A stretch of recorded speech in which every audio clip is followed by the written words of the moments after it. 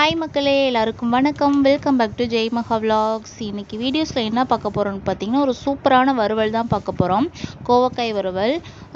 First time சாப்பிட்றவங்க கூட ரொம்ப விரும்பி சாப்பிடுவாங்க. இந்த மாதிரி செஞ்சிங்கன்னா ரொம்ப ரொம்ப விரும்பி சாப்பிடுவாங்க. நான் ஒரு இரநூத்தம்பது கிராம் கோவக்காய் எடுத்து நீல வாக்கில் கட் பண்ணி வச்சுக்கிட்டேன்.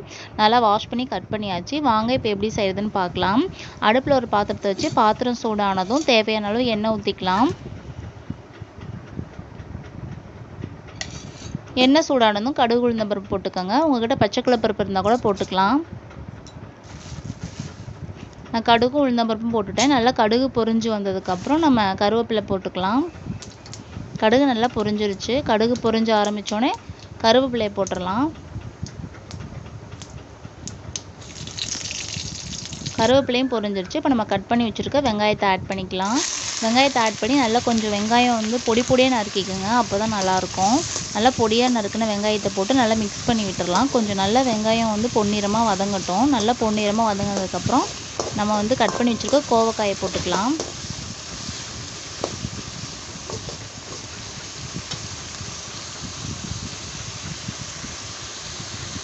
வெங்காயம் பாருங்கள் நல்லா வதங்கிருச்சு. வெங்காயம் நல்லா வதங்கினதுக்கப்புறம் இப்போ வந்து நம்ம கோவக்காயை போட்டுடலாம் கட் பண்ணி வச்சுருக்க கோவக்காயை போட்டு நல்லா மிக்ஸ் பண்ணி விட்டுடலாம்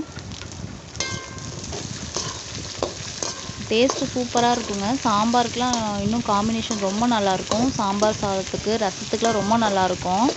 தயிர் சாதத்துக்கு கூட வச்சு சாப்பிட்லாம். நல்லா மிக்ஸ் பண்ணி விட்டுட்டு தேவையான அளவு தூள் போட்டுக்கலாம். நம்ம வந்து இதுக்கு ஃபுல்லாக வந்து ட்ரை ஃப்ரை தான் பண்ண போகிறோம் அதனால் தண்ணிலாம் எதுவும் ஊற்ற போகிறது கிடையாது. அதனால் நம்ம தூள் போட்டுக்கலாம். இப்போ தேவையான அளவு தூள் போட்டுக்கோங்க. கொஞ்சமாக மஞ்சத்தூள் காரத்துக்கு வரமிளகாத்தூள் போட்டுக்கலாம். அப்புறம் கொஞ்சமாக தனியாத்தூள் போட்டுக்கலாம். போட்டு நல்லா மிக்ஸ் பண்ணி விட்டுருங்க. ஃபுல்லாக எல்லா கையிலையும் படுற மாதிரி நல்லா மிக்ஸ் பண்ணி விட்டுக்கலாம்.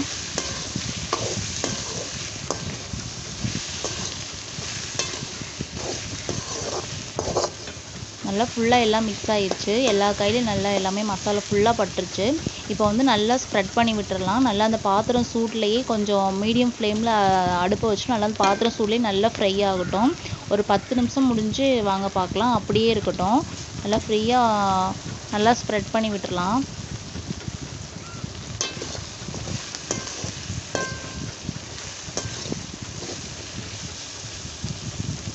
இந்த மாதிரி நல்லா ஸ்ப்ரெட் பண்ணி விட்டோம்னா கொஞ்சம் நல்லா கிரிப்ஸியாக வரும். சீக்கிரமாக வெந்துடும் ஒரே இடத்துல வைக்கிறது நல்லா பாத்திரம் ஃபுல்லாக ஸ்ப்ரெட் பண்ணி விட்டுக்கலாம். ஒரு அஞ்சு நிமிஷம் முடிஞ்சு பார்க்கலாம் வாங்க. சிம்லேயே இருக்கட்டும். பாருங்கள் அஞ்சு நிமிஷம் ஆயிடுச்சு நல்லா காய் வெந்துருச்சு. நல்லா ஆனியன்லாம் நல்லா பொரிஞ்சு வந்துருச்சு பாருங்கள் நம்ம ஊற்றுன எண்ணெய் அப்படியே இருக்குது நல்லா காய் பாருங்க சூப்பராக வெந்துருச்சு. இப்போ வந்து நம்ம கொஞ்சமாக கரம் மசாலா போட்டுக்கலாம். கொஞ்சமாக கரம் மசாலா போட்டு நல்லா மிக்ஸ் பண்ணி விட்டுக்கலாம். நல்லா டேஸ்ட்டாக இருக்கும். இந்த ஸ்டேஜில் வந்து லைட்டாக ஒரு அரை ஸ்பூன் கரம் மசாலா போட்டால் போதும். கரம் மசாலா போட்டு திரும்ப நல்லா மிக்ஸ் பண்ணிவிட்டு கொஞ்சம் நல்லா ஸ்ப்ரெட் பண்ணி விட்டுக்கலாம். திரும்ப ஒரு அஞ்சு நிமிஷம் வெயிட் பண்ணி திரும்ப வந்து பார்க்கலாம் வாங்க. சிம்லேயே இருக்கட்டும்.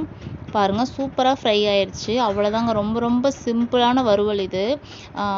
எல்லாத்துக்குமே நல்லாயிருக்கும். தயிர் சாதம் சாம்பார் சாதம் ரசம் சாதம் எல்லாத்துக்குமே காம்பினேஷன் சூப்பராக இருக்கும். ட்ரை பண்ணி பாருங்கள் அவ்வளோதான் கோவக்காய் வறுவல் வந்து ரெடி ஆயிடுச்சு ட்ரை பண்ணி பார்த்துட்டு எப்படி இருக்குன்னு சொல்லுங்கள் டக்குன்னு குயிக்காக ரெடி பண்ணிடலாம். வீட்டில் செஞ்சு பார்த்துட்டு எப்படின்னு சொல்லி மறக்காமல் கமெண்ட் பாக்ஸில் கமெண்ட் பண்ணுங்கள் நம்ம வீடியோ வந்து மறக்காமல் சப்ஸ்கிரைப் பண்ணிக்கோங்க. இந்த வீடியோவுக்கு ஒரு லைக் கொடுங்க. உங்கள் ஃப்ரெண்ட்ஸ் அண்ட் ஃபேமிலிக்கு ஷேர் பண்ணுங்கள் பாய்